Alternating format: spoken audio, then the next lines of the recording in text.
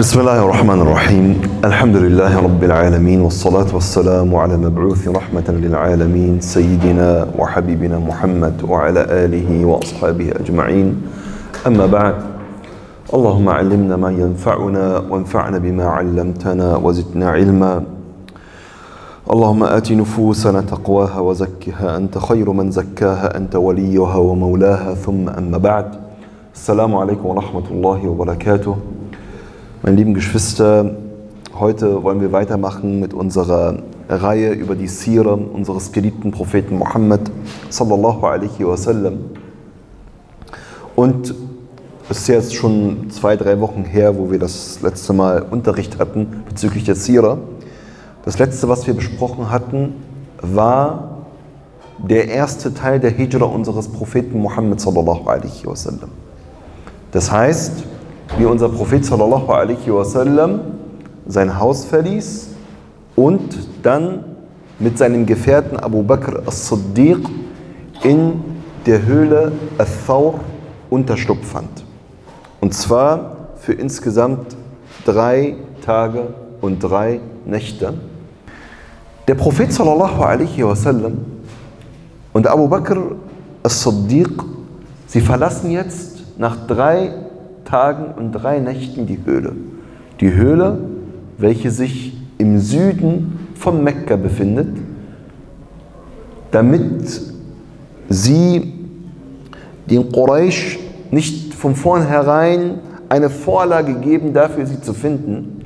Denn Medina liegt im Norden und die Quraysh sind natürlich davon ausgegangen, dass sie direkt in den Norden fliehen werden, um schnellstmöglich nach Medina zu gelangen. Und sie versteckten sich dann im Süden von Mekka in dieser Höhle, Al-Thawr, in der viele Dinge geschehen sind, auf die wir noch eingehen werden, inshallah ta'ala, beim nächsten Mal. Und begaben sich jetzt Richtung Medina, Richtung Yathrib. Und auf dem Weg nach Medina sind mehrere Ereignisse geschehen, aus denen wir viele Lehren ziehen können. Ereignisse, die uns aufzeigen, wie der Prophet wasallam in dieser Zeit der Prüfung gehandelt hat, wie er mit dieser Zeit der Prüfung umgegangen ist, dass der Prophet wasallam während er verfolgt wurde, seine Hoffnung nicht verloren hat auf die Unterstützung Allah subhanahu wa ta'ala dass unser Prophet wasallam in dieser Zeit der Verfolgung und der Flucht auch nicht die Da'wah vernachlässigt hat. Und wir kommen gleich, inshallah, bei den einzelnen Ereignissen noch darauf zu sprechen und zeigen noch andere Beispiele von anderen Propheten diesbezüglich auf. Unser Prophet sallallahu alaihi wasallam, er verließ jetzt also mit Abu Bakr as-Siddiq, nachdem es ruhig wurde im Süden von Mekka, die Höhle und sie begaben sich jetzt mit ihrem Führer, der ihnen den Weg aufzeigte, Abdullah ibn Urayqat, Richtung Yathrib, Richtung Medina. Und Medina hieß vorher Yathrib, bis der Prophet sallallahu alaihi wasallam dort ankam. Und die Gelehrten überliefern, die Sira-Gelehrten, dass der Prophet sallallahu alaihi wasallam und Abu Bakr as-Siddiq eine Pause eingelegten. Und zwar unter einem Felsbrocken, der ihnen Schatten spenden sollte. Und Abu Bakr as-Siddiq, er machte jetzt etwas, was seine Liebe zum Propheten sallallahu alaihi wasallam noch einmal unter Beweis stellen sollte.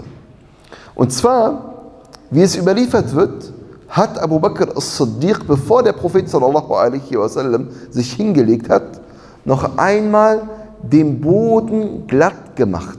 Und dann rief er dem Propheten wasallam und sagte, O Gesandter Allahs, jetzt kannst du dich hinlegen. Er hat alles für ihn vorbereitet. Und wir werden gleich noch einige weitere Ereignisse sehen. Und all diese Ereignisse deuten darauf hin, dass Abu Bakr as-Siddiq den Propheten sallallahu alaihi wasallam so sehr geliebt hat wie eine Mutter ihren Sohn. Ich glaube, so kann man das am besten beschreiben. Was macht eine Mutter, bevor sie ihr Kind irgendwo hinlegt, sie macht erst einmal alles fertig. Sie achtet darauf, dass alles sauber ist. Sie achtet darauf, dass das Bettlaken gerade ist. Ein Vater, der legt irgendwie hin, ja, aber eine Mutter, ja, ja, es ist häufig so, ja, nicht alle Väter sind so, ja, aber meistens haben da die Mütter, sage ich mal, etwas äh, mehr Gefühle für ihre Kinder, als es die Väter haben und achten wirklich auf jede Kleinigkeit, die du vielleicht als Vater überhaupt nicht erkennst, gar nicht siehst. Und Abu Bakr ist, ist genauso gewesen. Wie wir es auch schon beschrieben hatten, als sie auf dem Weg zur Höhle waren, lief Abu Bakr mal vor dem Propheten sallallahu alaihi wasallam und mal hinter dem Propheten sallallahu alaihi wasallam. Und warum tat er dies? Als der Prophet ihn fragte, sagte er, O Gesandter Allahs, ich laufe mal vor dir, weil ich Angst habe, dass sie dir eventuell eine Falle gestellt haben könnten. Und ich laufe mal hinter dir, wenn mir in den Sinn kommt, dass sie eventuell uns verfolgen könnten, damit ich dann einen Angriff von hinten abwehren kann, um dich zu schützen. Er liebte den Propheten sallallahu alaihi wasallam über alles. Und das ist das, was Abu Bakr as-Siddiq so besonders machte. Es ist nicht das gewesen, dass er mehr gebetet hat als andere. Oder dass er mehr gefastet hat als andere. Nein, es ist vielmehr so gewesen, dass es etwas in seinem Herzen war, was ihn ausmachte. Es ist dieser Sidq gewesen weshalb er auch Sadiq genannt wurde. Diese Wahrhaftigkeit. Und nach dieser Wahrhaftigkeit müssen wir in unserem Leben streben. Nach dieser Wahrhaftigkeit in unserem Herzen. Und diese Wahrhaftigkeit kommt in bestimmten Momenten zum Vorschein. Da, wo andere vielleicht scheitern, zeigst du, dass du wahrhaftig bist. Da, wo andere einen Rückzieher machen, zeigst du, dass du wahrhaftig bist, indem du weitermachst. Abu Bakr as-Siddiq, er machte den Boden bereit für den Propheten sallallahu alaihi wasallam. Und dann trafen sie zufällig an dieser Stelle einen Schafshirten. Und sie fragten den Schafshirten, ob er ihnen nicht eine, ein, ein, eine Ziege geben kann, damit sie sie melken können. Und er meinte, das sind nicht meine Schafe. Und dann meinte der Prophet sallallahu alaihi wasallam, dann bring mir doch eine Ziege, die noch keinen Kontakt zu einem Ziegenbock hatte, also die noch eigentlich gar keine Milch spenden kann, die man noch gar nicht melken kann. Er meinte, okay, bitte, du kannst es machen, kannst es versuchen. Und der Prophet sallallahu alaihi wasallam, er erwähnte den Namen Allahs und er rieb an dem Euter der Ziege und subhanallah, es kam frische Milch heraus. Und er trank, Abu Bakr trank, ihr Begleiter Abdullah ibn Urayqit, er trank. Alle haben getrunken. Und auf jeden Fall, und jetzt kommt ja, etwas, ja, was noch einmal auf diese Liebe von Abu Bakr as-Siddiq hindeutet. Und zwar hat Abu Bakr as-Siddiq dann, wie es überliefert wird, äh, Folgendes gesagt, oder es wurde von ihm gesagt, فَشَرِبَ حَتَّى رَضِيَ Abu Bakr. Er hat getrunken, sallallahu alaihi wasallam, bis Abu Bakr as-Siddiq zufrieden war. Kennt ihr das von einer Mutter? Sie selbst hat keinen Hunger, aber sobald ihr, oder sie hat vielleicht sogar Hunger, aber sobald ihr Kind isst, hat sie das Gefühl, dass sie gesättigt wurde. Wenn ihr Kind isst, dann ist sie auch gesättigt.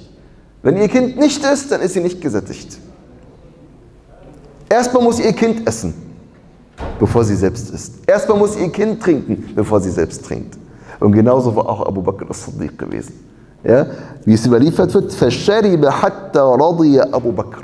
Er hat getrunken, bis Abu Bakr damit zufrieden gewesen war. Und sie machten sich jetzt wieder auf den Weg. Und immer wieder gab es Leute, welche sie auf dem Weg trafen. Und wenn sie dann Abu Bakr fragten, wer ist eigentlich diese Person, die bei dir ist, antwortete Abu Bakr as-Siddiq radiallahu anhu wa arda, هذا الرجل يهديني السبيل.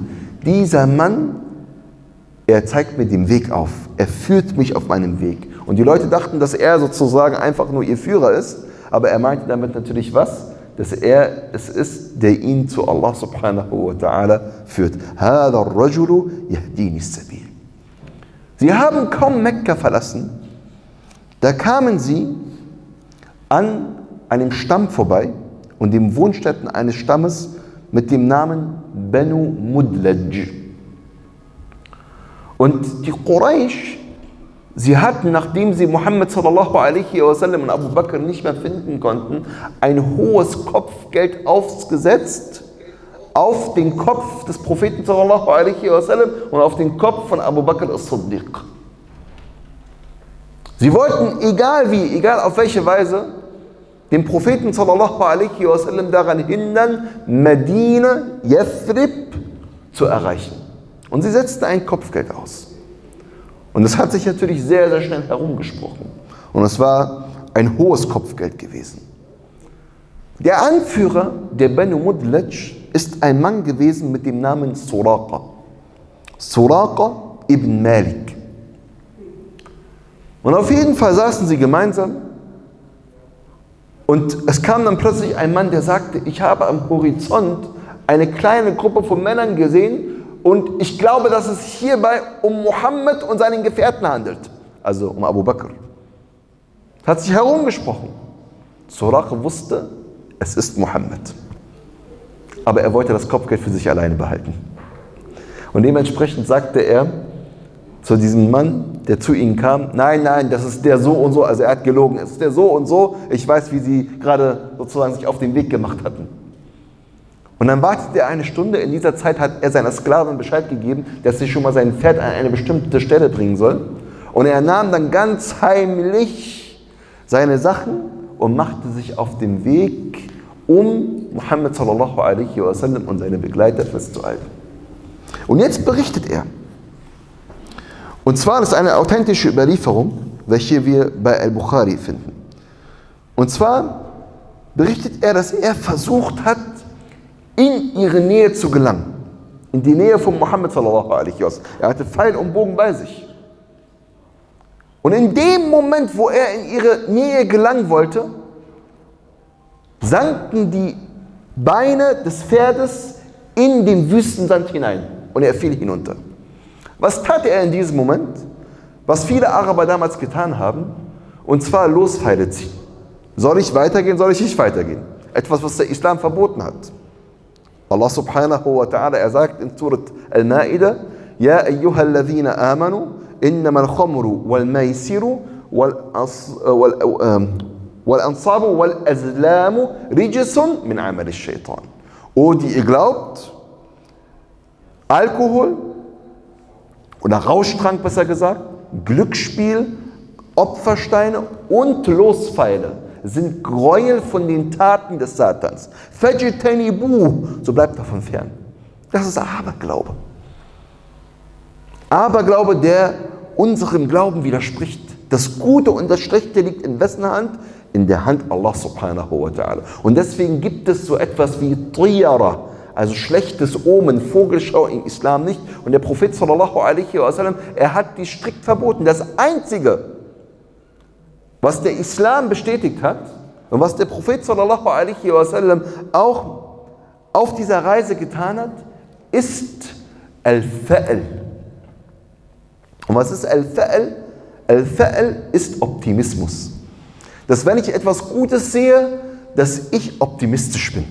Wenn ich etwas Schönes höre, dass ich optimistisch bin. Wir werden gleich anhand von zwei oder einem Ereignis auf der Hijra ein Beispiel für diesen erlaubten Optimismus haben.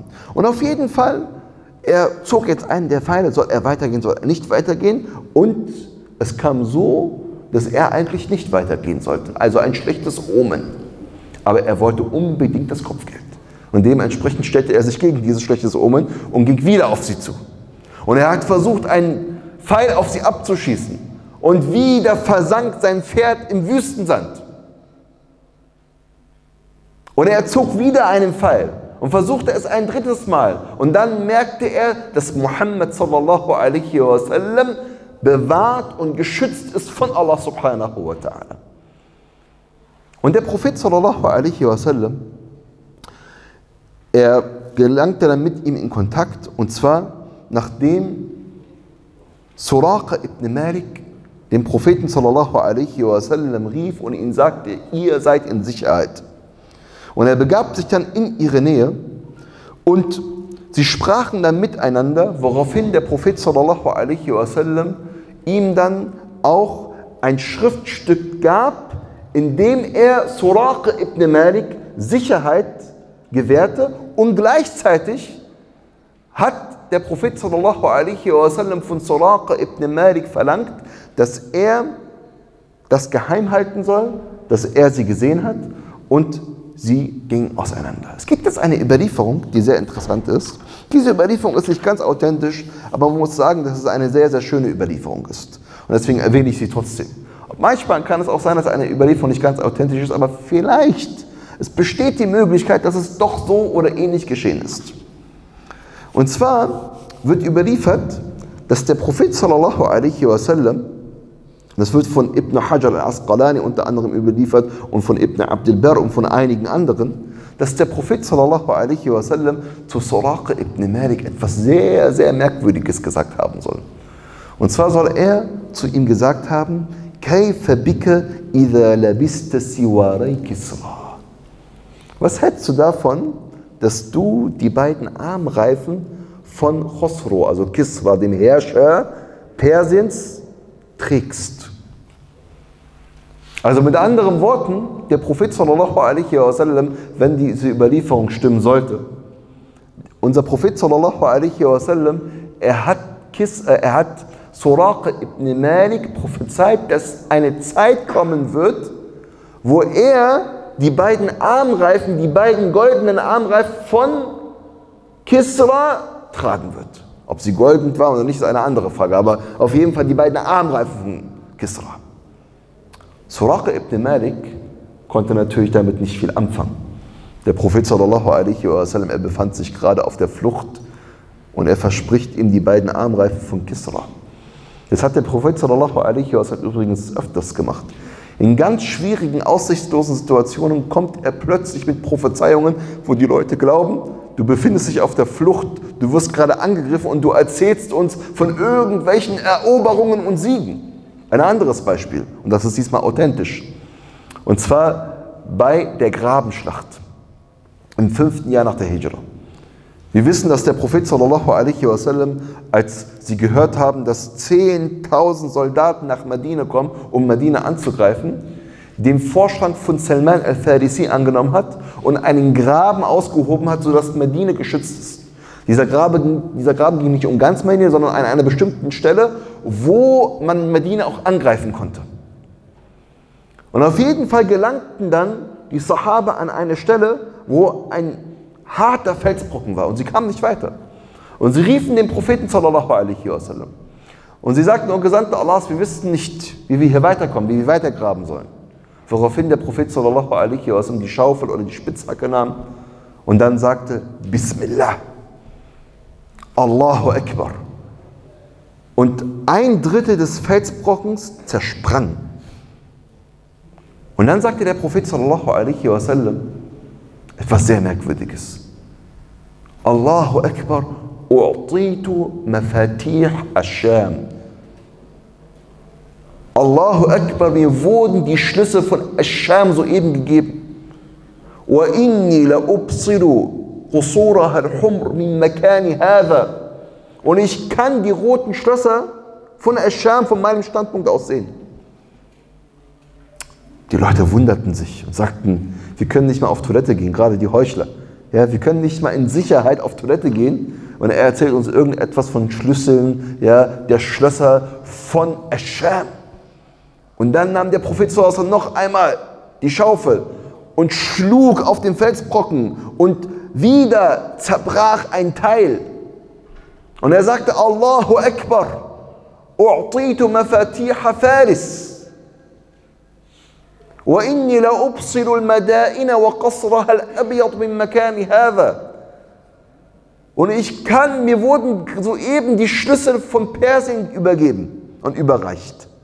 Und ich kann von meinem Standpunkt aus die Hauptstadt Al-Madain und das weiße Schloss von Al-Madain sehen. Noch verrückter. Ja, Scham, okay, aber gleich Persien, dieses, dieses Imperium. Und dann ein drittes Mal, Bismillah, und der Felsbrocken zersprang vollständig. Allahu Akbar, u'titu mafatih al-Yaman. Mir wurden soeben die Schlüssel von Jemen gegeben. وإني لأبصر صنعاء من مكان هذا und ich kann Sana'a, Sanaa, die Hauptstadt Jemens, von meinem Standpunkt aus sehen. In solch einer schwierigen Situation hat der Prophet sallallahu alaihi wasallam den Sahabe Hoffnung gemacht. Er ist natürlich ein Prophet gewesen. Er wusste, was geschieht. Und dementsprechend, wenn man sich jetzt diese Überlieferung von Suraq ibn Malik anschaut, könnte man auch denken, der muss sich was gedacht haben. Der muss sich seinen Teil gedacht haben, wie man so schön auf Deutsch sagt. Ja, er erzählt mir etwas von den Armreifen Kisras und befindet sich gerade auf der Flucht. Aber subhanallah, unabhängig davon, ob diese Überlieferung jetzt wirklich stimmt oder nicht, wir wissen, Persien wurde erobert. Und die Schätze Persiens und Kisras wurden nach Medina gebracht. Unabhängig davon, ob das jetzt mit den Armreifen stimmt. Weil es war dann wirklich in der Zeit von Umar ibn Khattab, wo dann Umar ibn Khattab Surake gerufen haben soll und zu ihm gesagt haben soll, oh Surake, hier ist das, was der Prophet sallallahu alaihi wasallam dir versprochen hat und er hat ihm die Armreifen von Kisra gegeben. Und wir wissen, dass die ganzen Schätze von Persien nach Medina gebracht wurden. Und als Umar ibn Khattab diese Schätze sah, sagte er, Leute, die so etwas von Persien bis nach Medina transportiert haben, sind Leute, die wirklich vertrauenswürdig sind. Woraufhin dann die Leute zu ihm sagten, du bist vertrauenswürdig, also sind sie auch vertrauenswürdig. Und wärst du nicht vertrauenswürdig, würden sie auch nicht vertrauenswürdig sein. Subhanallah, was lernen wir daraus? Wir lernen daraus, dass man auch in schwierigen Zeiten dem Menschen Hoffnung machen muss. Ich weiß, das ist schwierig. Das ist nicht einfach. Manche denken, wovon, wovon redet er? Aber wenn der Prophet sallallahu alaihi wasallam etwas verspricht, dann tritt das auch ein. Dann wird das auch geschehen. Auch wenn wir das Gefühl haben, es wird sich nichts ändern. Die Lage der Umme ist am Boden. Überall Krieg, überall Spaltung. Die Muslime werden von allen Seiten angegriffen, so wie es der Prophet sallallahu alaihi wasallam beschrieben hat. يوشك أن تداعى عليكم الأمم كما تداعى الأكلة إلى قصعتها. Es wird bald eine Zeit kommen, wo sich die Völker auf euch schmeißen werden, wie Hungrige auf eine Schüssel voller Essen. Die Sahabe fragten den Propheten zu Hause, أَوَ مِنْ قِلَّةٍ نَحْنُ يَوْمَئِذْ يَا رَسُولَ اللَّهِ werden wir weniger sein, o Gesandter Allahs. Er sagte, بل أنتم كثير ولكنكم غثاء كغثاء السيل. Ihr werdet viele sein, sehr viele, über eine Milliarde Menschen. Konnten sich die Muslime damals natürlich gar nicht vorstellen. Aber ihr werdet sein wie Schaum auf einem Strom, Wasserstrom. Was passiert bei diesem Strom? Wird regelrecht zerpflückt. Jedes ja, bisschen Schaum ja, wird in eine andere Richtung gespült. Kein Zusammenhang. Walakinnakum ghuthaka ghutha'is sayl. Ja? Und was ist der Grund dafür? Die Liebe zur Dunya und das Verabscheuen des Todes.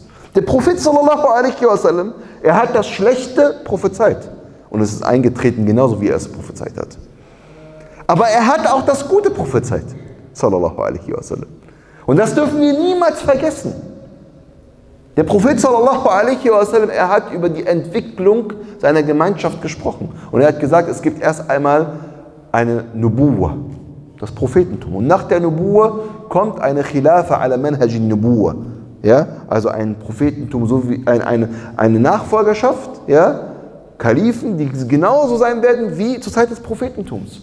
Ja? Und dann kommt eine Sache, die nennt der Prophet sallallahu alaihi wasallam nicht, dass ich jetzt durcheinander komme, was zuerst kommt, aber eine Sache nennt der Mulken Aduda. Eine bissige Herrschaft, despotische Herrschaft. Und dann nennt er noch eine Form von Despoten. Und dann sagt der Prophet sallallahu alaihi wasallam, und dann kommt wieder eine Khilafa ala minhaj nubuwa. Und dann kommt wieder ja, etwas, was dem ähnelt, was sozusagen, was der Methode folgt, die der Prophet sallallahu alaihi wasallam uns vorgelebt hat. Das heißt, es wird schwere Tage geben, aber es wird auch wieder gute Tage geben.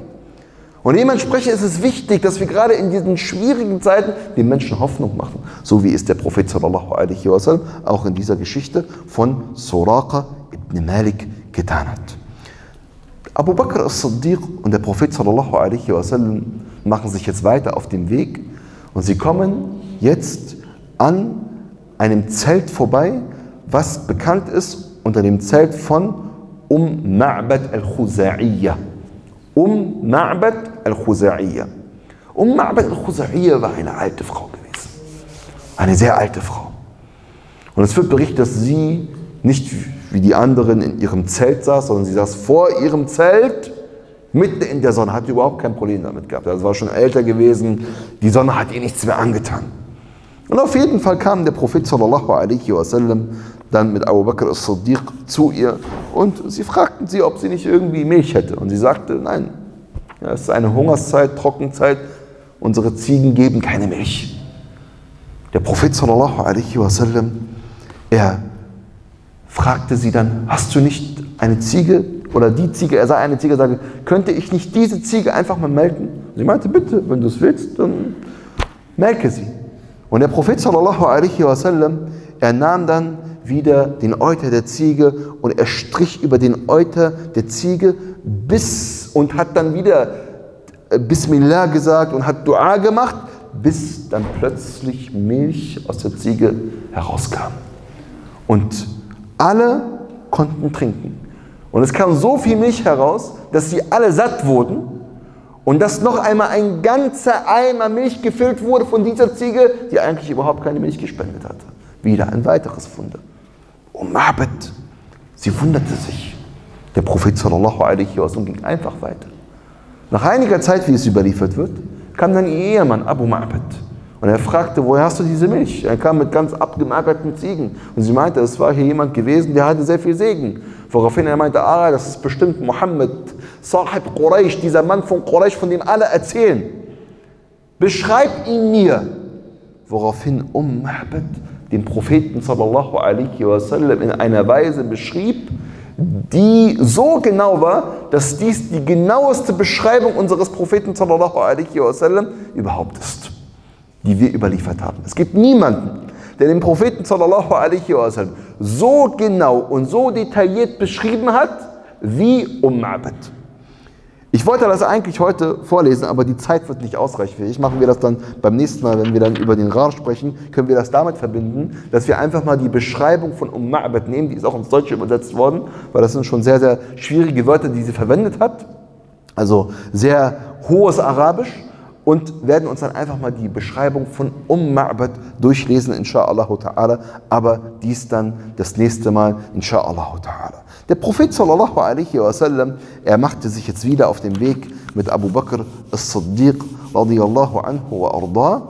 Und sie kamen jetzt an einem Ort vorbei, wo zwei Diebe die bekannt gewesen waren dafür, alles auszurauben, was ihnen in den Weg kam, äh, dann, wo sie an diesen Ort kamen, wo diese beiden Diebe waren. Und die Leute hatten sie gewarnt gehabt. Der Prophet sallallahu alaihi wasallam, er ging ganz locker damit um. Es machte ihm überhaupt keine Angst, er vertraute auf Allah. Diese beiden Diebe hießen oder waren bekannt gewesen unter dem Namen Al-Muhanan. Al-Muhanan, die beiden Erniedrigten. Und der Prophet sallallahu alaihi wasallam, er sollte sie wirklich treffen. Und er hat da mit ihnen gesprochen. Und er fragte sie, wer seid ihr? Und sie sagten, wir sind die Al-Muhanan, die beiden Erniedrigten von Ihana. Woraufhin er dann zu ihnen sagte, Bal antuma al-mukraman. Nein, vielmehr seid ihr die Geehrten. Ihr seid nicht die Erniedrigten, ihr seid vielmehr die Geehrten. Der Prophet sallallahu alaihi wasallam, er wollte mit ihnen Da'wah machen. Er wollte sie zum Islam einladen. Und er hat es auch geschafft. durch einige schöne Worte. Wahrscheinlich haben die Leute immer über sie schlecht gesprochen, weil sie auch Schlechtes getan haben. Der Prophet sallallahu alaihi wasallam hat ein einziges Mal zu ihnen gesagt, Bal antuma al mukraman hat einen Schlüssel gefunden, um ihr Herz zu öffnen, hat dann in ihr Herz den Islam gelegt und sie haben den Islam akzeptiert. Und so funktioniert die Dauer. Wie funktioniert die Dauer? Die Dauer funktioniert genau so. Über jedem Herzen ist ein Schloss. Und ich muss verstehen, wie ich dieses Schloss öffne. Dieser Bruder, der gerade den Islam angenommen hat. Er hat genau das gesagt. Er hat gesagt, Subhanallah, irgendetwas wurde durch den Bruder Ali bei mir geöffnet. Irgendetwas wurde geöffnet. Etwas hat mein Herz geöffnet und dadurch habe ich diese Liebe zu Gott gewonnen und zum Islam gefunden.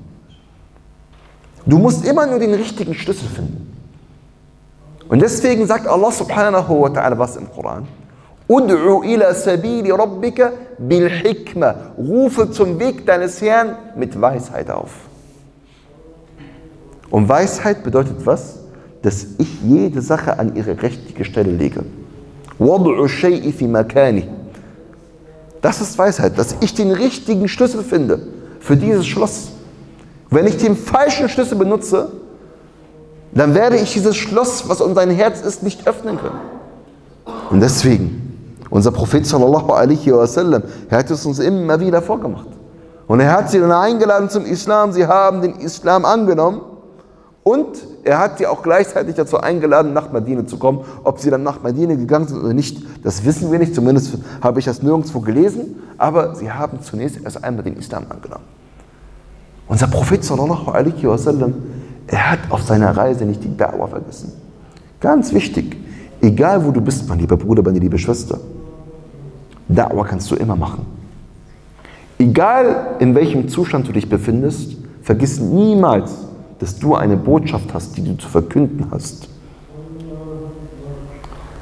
Yusuf a.s. Er befand sich im Gefängnis. Und was hat er im Gefängnis gemacht?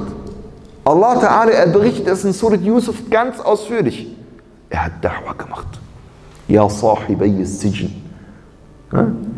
أأرباب متفرقون خير أم الله الواحد القهار die beiden Leute, die mit ihm im Gefängnis waren, die unbedingt wissen wollten, was ihre beiden Träume bedeuteten und gesehen haben, dass er ein guter Mann ist. Wir sehen, du bist ein guter Mann. Jemand, der immer Gutes tut.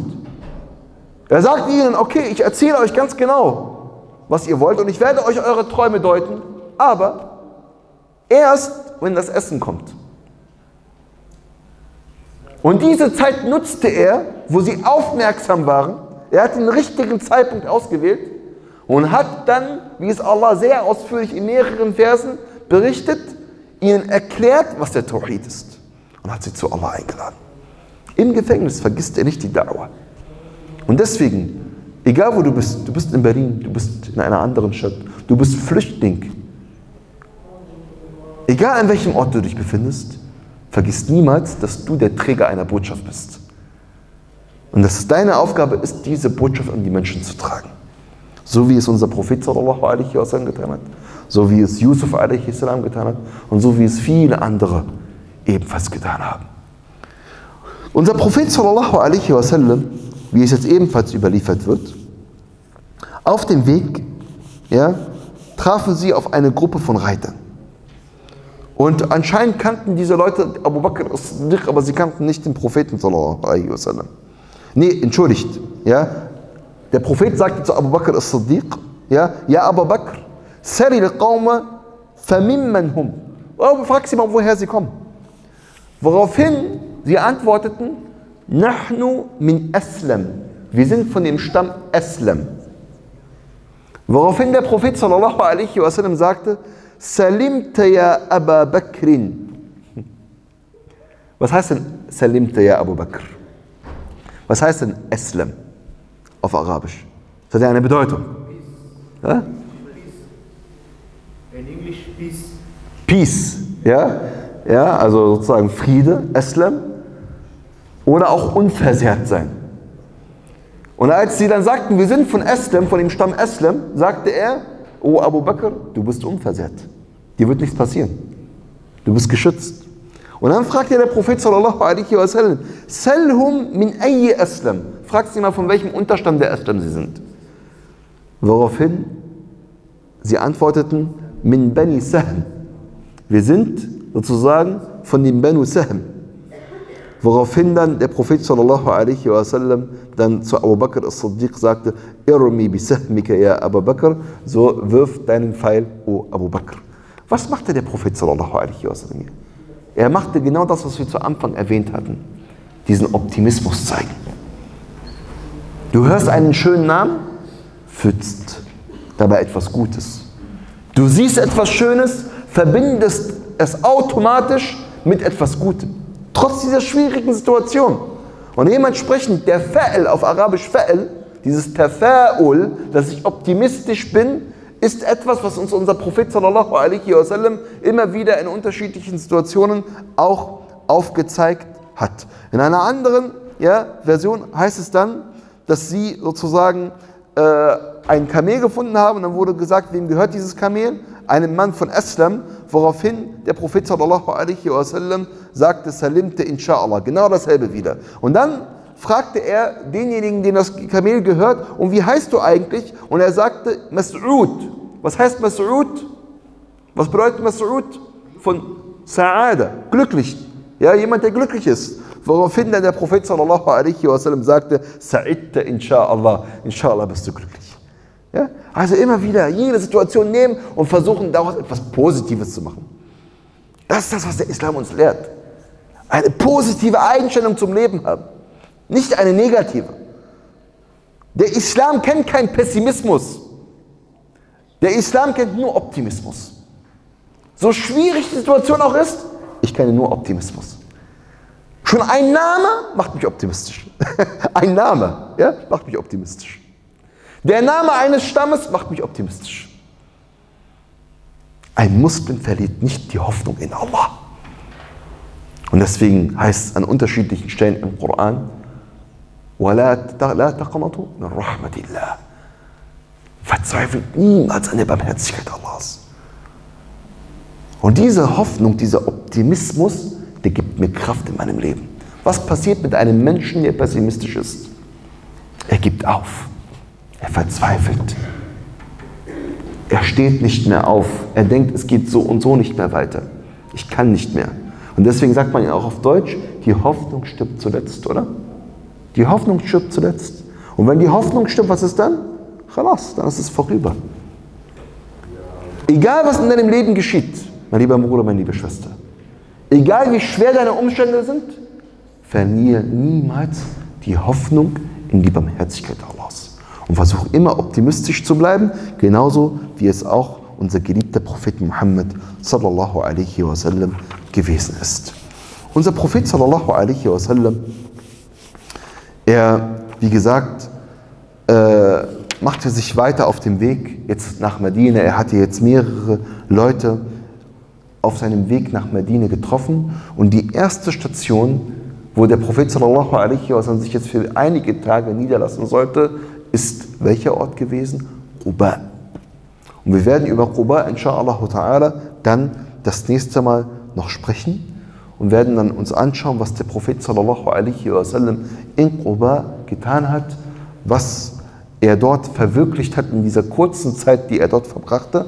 Aber das dann inshallah ta'ala beim nächsten Mal. Wir sind für heute erst einmal zum Ende gelangt und werden dann inshallah ta'ala in der kommenden Woche noch einmal kurz zurückgehen zu Rar Thawr, was dem Propheten sallallahu alaihi wasallam dort in der Höhle widerfahren ist mit Abu Bakr as-Siddiq und dann weitermachen inshallah ta'ala mit Um Ma'bad und der Beschreibung des Propheten sallallahu alaihi wasallam. Und wenn da noch Zeit ist, werden wir dann inshallah ta'ala auf Quba eingehen, die Mashi'atillahi azza wa jalla.